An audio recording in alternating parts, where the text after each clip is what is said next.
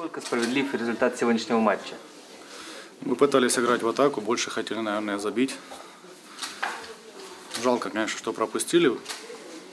Ну а так, э, я думаю, что две команды играли в атакующий футбол. Две команды старались, наверное, больше созидать э, впереди, чем думали об обороне. Поэтому, наверное, ничья такой справедливый результат.